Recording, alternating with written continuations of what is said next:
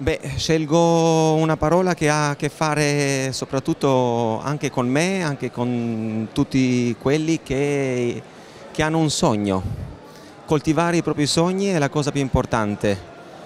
Eh, fare dei sacrifici, rinunciare per eh, diventare quello che si vuole è la cosa più importante anche più difficile ovviamente della vita. Per questo che dico ai ragazzi di di sperare, di sperare in meglio sotto qualsiasi punto di vista.